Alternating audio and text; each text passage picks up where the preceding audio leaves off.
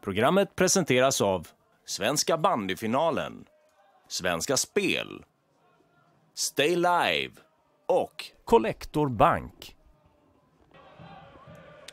Tabellsjuan Hammarby tog emot jumbon Gripen Trollhättan och eh, det var hemmalaget som tog ledningen i den första halvleken genom eh, Kalle Mårtensson. Mycket fint framspelad av Jesper Jonsson som var glödhet under den här ganska regniga kvällen. Det hade regnat en hel del under eftermiddagen. Det avtog så småningom under kvällen men eh, det blev ändå ganska så att isen påverkades en del. Så var det lite heta känslor också kan vi konstatera när det bland annat blev lite gurgel Eh, mellan Robin Sundin och Adam Blomster och bägge två fick åka ut och sätta sig varsina tio minuter. Så var det här med hörnor och Gripen. De har inte gjort ett enda hörnmål in till den här matchen, men då klippte Linus Rönnqvist, lagkaptenen och förre Hammarby-spelaren in 1-1 på just hörna. En skön, eh, ett skön islossning då när det gäller hörnor för eh, Gripen, men det skulle bli hörnmål även för Hammarby innan första halvlek var slut.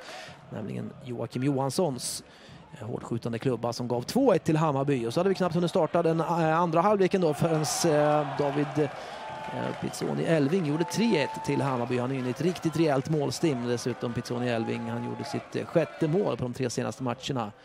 Och dubblade alltså hemmalagets ledning. Och sen kom ytterligare ett mål ifrån matchens lirare Jesper Jonsson som klippte in det andra målet för sin del och då var det 4-1 till hemmalaget. Men det var den här med hörnor då och apropå islossningen så kom det ytterligare hörnmål. och en riktigt rejäl stänkare ifrån skyttekungen Johan Gran som gjorde sitt åttonde mål i årets elitserie på en eh, hörna och på ett oerhört resolut sätt dessutom. Två hörnmål i samma match. Förlösande förstås för Ari Holopainen och hans eh, Gripen. Men det skulle eh, komma mera från Hammarby, dock inte här. Då kom det ett mål som dömdes bort för offside. Så att eh, inget 5-2 mål den gången för hemmalaget. Däremot så skulle det komma i nästa läge då när eh, man eh, fick in eh, 5-2-målet för Hammarby.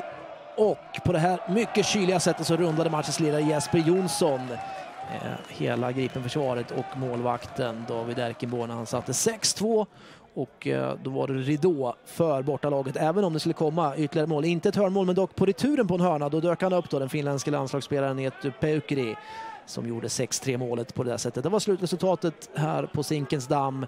Eh, Hammarby vann med 6-3 och fortfarande ingen bortapoäng då för tabelljumbon Gripen Trollhättan som nu har två raka hemmamatcher på sig. Bollnäs och Edsbyn i nästa vecka. Villa Lidköping väntar för Hammarby. En tuff bortamatch nu på onsdag. Programmet presenteras av Svenska bandyfinalen, Svenska Spel, Stay Live. Och Collector Bank.